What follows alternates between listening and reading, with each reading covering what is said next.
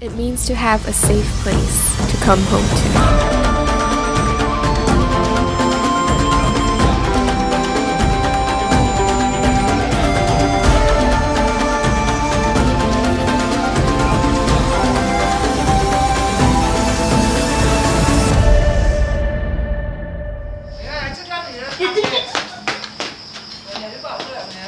Bye out.